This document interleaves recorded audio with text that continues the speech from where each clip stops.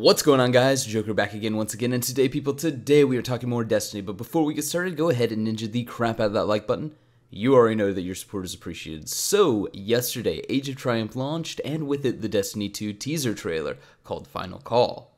Which is kind of funny because previously to the leaks, I remember reading a post on the Reddit subforums for Destiny about the last thing that people were going to do as their guardian in Destiny 1. Essentially, the main post said that everybody should put on their favorite gear, put on their favorite weapons, and go drink one last time in the Hunter's Lounge. One last song, one last dance, one last goodbye.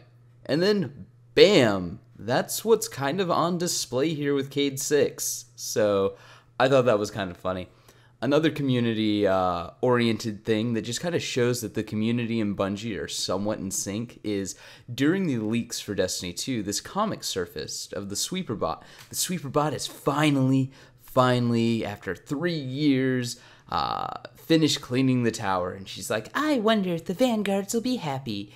And then she goes to report to the Vanguards and walks out, and the city is on fire. And we kind of see that in the trailer where the sweeper bot's just like, I hate my life. And Cayde's just like yammering on. he's like, oh, well, I guess you would have had to be there. Blah, blah, blah, blah, blah.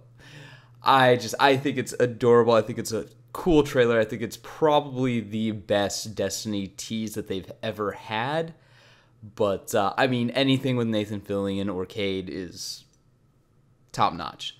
So, Anyways, another really kind of cool little Easter egg that came out of the trailer is if you look at the end of the trailer, there's guardians that come up the left side of the street where after Cayde's walking out of the bar. And they're New Monarchy guardians.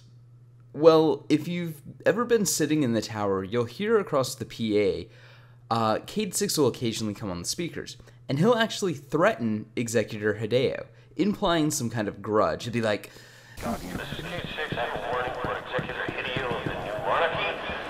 You know what you did. Watch yourself. So I just thought it was kind of funny that you have Cayde and then you have all these new Monarchy Guardians running together. Just, again, it, it's cute.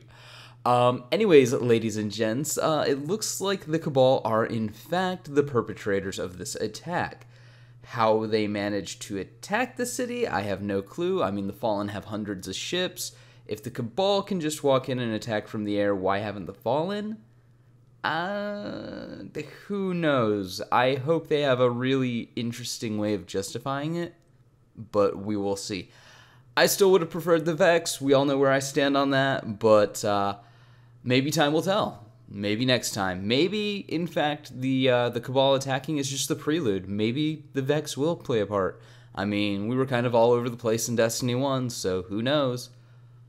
But those are my thoughts. Let me know yours in the comments below and stay tuned for tomorrow when we will take a look at the Destiny 2 reveal trailer. All right, ladies and gents, that's it for me. Stay frosty.